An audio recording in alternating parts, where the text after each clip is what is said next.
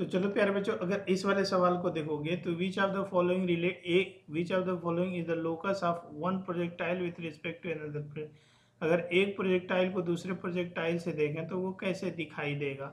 समझ रहे ना? अगर एक यहाँ से प्रोजेक्टाइल में लिया दिस इज़ द प्रोजेक्टाइल ये एक्स एक्सीज है और ये वाई एक्सीज है तो वो अगर यहाँ से तुम देखोगे, किसी को फेंक दोगे t is equal to zero पर एक projectile e is equal to zero u से कुछ फेंका गया ठीक है?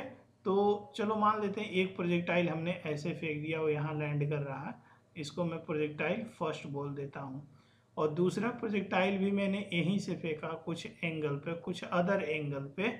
तो चलो मान लो उसको मैंने ऐसे फेंक दिया और वो भी कहीं पे लैंड ही करेगा, यहाँ पे हमको नहीं पता है। ठीक है? लोकस ऑफ़ वन प्रोजेक्टाइल और ये। तो अब ये कहते हैं, अगर एक प्रोजेक्टाइल है और इस पर कोई ऑब्जर्वर है this is the observer on projectile first और ये दूसरा वाला जो प्रोजेक्टाइल है, इस पर कोई ऑब्जर्वर बॉल है, उस पर कोई ऑब्जर्वर है, ठीक ना? ये, समझ रहे हो? तो ये ऑब्जर्वर अगर एक दूसरे को देखते हैं, एक प्रोजेक्टाइल से दूसरे प्रोजेक्टाइल फ़र्स्ट से सेकंड को देखे या सेकंड फ़र्स्ट को देखे तो किस टाइप का पाथ में जाता हुआ नज़र आएगा, ये हमें पता करना है, ठीक है? तो देखो सिंपली सी बात है। अगर तुम देखोगे फ़र्स्ट ऑब्जर्वर और सेकंड ऑब्जर्वर के मोशन को देखोगे इन दोनों प्रोजेक्टाइल को तो फ़र्स्ट मेथड है तो आप लॉजिक से ही इसको प्रूव कर सकते हो। और कि क्या होगा मैथमेटिकली भी मैं कर दूँगा पहले। देखो, अगर तुम देखोगे दोनों की जो वेलोसिटी है एक्स एक्सिस में velocity of first in x axis और velocity of second in x axis और ये वेलोसिटी कभी भी चेंज नहीं होगी, इन दोनों की कांस्टेंट होगी, हालाँकि उसकी वैल्यू अलग अलग होगी। पहले की u one cos theta one होगी, जो कि कांस्टेंट होगी, दूसरे की u two cos theta two होगी, जो कि कांस्टेंट होगी के डैश होगी, जो कभी चेंज ही नहीं होगी। मतलब अगर रिलेटिव वेलोसिटी एक्स एक्सिस में देखोगे रिलेटिव वेलोसिटी एक्स एक्सिस में, जो कि आगे की डायरेक्शन में दोनों की इधर है और ये इधर है, ठीक है? तो दोनों की जो रिलेटिव वेलोसिटी है, वो ज़ीरो आ जाएगी, ठीक है ना? रिलेटिव वेलोसिटी अगर कांस्टेंट वेलोसिटी से एक बस जा रही है इधर हॉरिजेंटल में, जी जो कि कांस्टेंट वेलोसिटी से जा रही है, दूसरी भी कांस्टेंट वेलोसिटी से जा रही है, समझ तो अगर जब कांस्टेंट वेलोसिटी जा रही है तो एक दूसरे से अगर देखेंगे तो यहाँ पर जो रिलेटिव वेलोसिटी जो दिखाई देगा, वो एक कांस्टेंट वेलोसिटी अपीयर होगा, ठीक है? अगर ये दोनों सेम है तो ज़ीरो आ जाएगा। तो रिलेटिव वेलोसिटी क्या है? कांस्टेंट है, ठीक है ना? तो अगर कांस्टेंट है तो एक्स एक्सिस में रिलेटिव एक्सलेशन ज़ीरो आ जाएगा, क्योंकि इसका इसका एक्स एक्सिस में एक्सलेशन फ़र्स्ट का ज़ीरो था, इसका भी ज़ीरो था।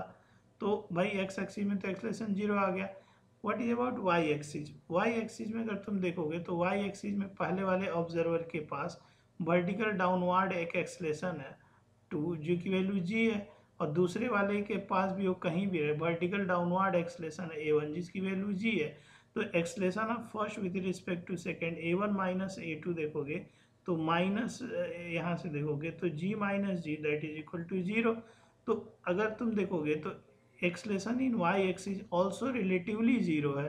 तो जब एक्सलेशन है ही नहीं तो जो वेलोसिटी होगा, अगर फ़र्स्ट सेकेंड को देखता या सेकेंड फ़र्स्ट को देखे तो वेलोसिटी क्या आ जाएगा? कांस्टेंट आएगा। क्यों? क्योंकि एक्सलेशन ज़ीरो है। अगर वेलोसिटी कभी भी कांस्टेंट होती है तो पाथ कैसा होता है? पाथ स्ट्रेट लाइन होता है मेरे प्यारे बच्चों। ठीक है ना? स्ट्रेट लाइन पाथ में एक दूसरे को जाता हुआ दिखाई देगा। ऑप्शन नंबर फ़र्स्ट तो ये तो रहा लॉजिकली अगर मैं इसी चीज़ को मैथमेटिकली करूँ तो आप इसको मैथमेटिकली भी कर सकते हो। इसको सॉल्व कर सकते हो। पहले के लिए जो सेकेंड मेथड है, कि आप सेकेंड मेथड आप इसको मैथमेटिकली भी कर सकते हो। चलो मान लेते हैं पहला वाला प्रोजेक्टाइल जो है वो कहीं पी पॉइंट पर होगा और ये फ़र्स्ट वाला प्रोजेक्टाइल है और ये एक्स वन वाई वन है ठीक है ना? और दूसरा वाला प्रोजेक्टाइल इधर कहीं होगा चलो मान लेते हैं ये आ, पी पी टू है और ये एक्स टू है वाई टू है ठीक है? और ये पी वन है जिसका पॉइंट एक्स वन है वाई वन है। तो अगर मैं यहाँ से देखूँ तो रिलेटिव एक्स का सेपरेशन ठीक है ना? रिलेटिव अगर एक्स का separation x coordinate x one t time बाद अगर मैं देखता हूँ तो ये आ जाएगा e one cos theta one multiplied by time t e one क्या भैया? ये रिजॉल्व करने आता ना यार? इतना तो आता होगा प्यारे बच्चों। बेसिक यहाँ से जो ई वन था, ये वाला जो ई वन था, ये थीटा वन था तो इसका एक component u one cos theta one और एक कॉम्पोनेंट इसका u one sine theta one ठीक है ना? और दूसरे का जो है, अगर तुम देखोगे यहाँ से दूसरे वाले की जो वेलोसिटी आ रही है, वो ये जो यू टू ये थीटा टू है तो दूसरे वाले की जो वेलोसिटी आ जाएगी u two cos theta two और ये आ जाएगा यहाँ से u two sine theta two ठीक है ना? ये वेलोसिटी को रिजॉल्व करिए तो एक्स एक्सिस बात पहले वाले की एक्स कोऑर्डिनेट इतना होगा। दूसरे वाले का कितना होगा भाई? U two cos theta two multiplied by time ठीक है ना? तो ये वाली जो चीज़ है बेसिकली एक्स का कोऑर्डिनेट है टी टाइम बाद। तो एक्स कोऑर्डिनेट का जो डिफरेंस है, उसको मैं कैपिटल एक्स से डिनोट कर देता हूँ, क्योंकि हमें पाथ निकालना तो पाथ मतलब होता है एक्स और वाई में रिलेशन एक्स कोऑर्डिनेट और वाई कोऑर्डिनेशन में रिलेशन मतलब x one minus x two की वैल्यू आ जाएगी, वो आ जाएगी t u one cos theta one और minus u two cos theta two that is the x similarly y निकाल लेते हैं। अगर मैं यहाँ सिमिलरली वाई निकालूँ तो मैं वाई के लिए क्या यूज़ करूँगा? तो वाई कोऑर्डिनेट पहले एक का निकालूँ, दूसरे का निकालूँ तो सिमिलरली अगर मैं यहाँ पे सिमिलरली अगर वाई कोऑर्डिनेट निकालता हूँ तो पहले का वाई वन आ जाएगा u one sine theta one और माइनस हाफ़ जी टी ठीक है ना? और वाई वाई टू दूसरे का वाई करना है u two sine theta two और minus half g t square ठीक है? अब अगर इसमें से फ़र्स्ट में से सेकेंड को घटा दोगे, ठीक है ना, यहाँ से टाइम टी यहाँ टाइम टी का भी मल्टीप्लाई होगा तो फ़र्स्ट सेकेंड में तो वाई कोऑर्डिनेट कैपिटल वाई से मैं डिनोट कर देता हूँ y one minus y two तो वाई वन में से वाई टू को जो घटाओगे तो ये टी कॉमन आ जाएगा तो y one u sine theta one और माइनस यहाँ से u two sine theta two ये यहाँ से बच जाएगा तो ये एक्स कोऑर्डिनेट आ गया ठीक है ना? और ये वाई कोऑर्डिनेट आ जाएगा पाथ का क्या मतलब होता है बच्चों?